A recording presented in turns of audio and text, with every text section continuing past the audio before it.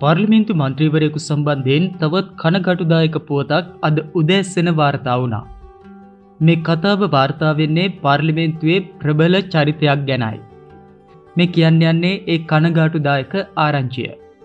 ශ්‍රී ලංකා පොදුජන පෙරමුණේ අනුරාධපුර දිස්ත්‍රික් පාර්ලිමේන්තු මන්ත්‍රී KH නන්දසේන පිළිබඳව තමයි මේ කතාව ආරංචි වෙන්නේ.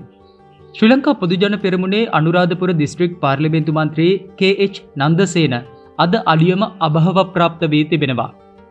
හදිසි රෝගී තත්ත්වයක් හේතුවෙන් අනුරාධපුර ශික්ෂණ රෝහලේ ප්‍රතිකාර ලබමින් සිටියදී ඔහු අභව ප්‍රාප්ත වී ඇති බවයි වාර්තා වන්නේ. මීට පෙර හිටපු රාජ්‍ය අමාත්‍ය සනත් නිශාන්තද රිය අනතුරක් හේතුවෙන් ජීවිතයෙන් සමුගත්තා.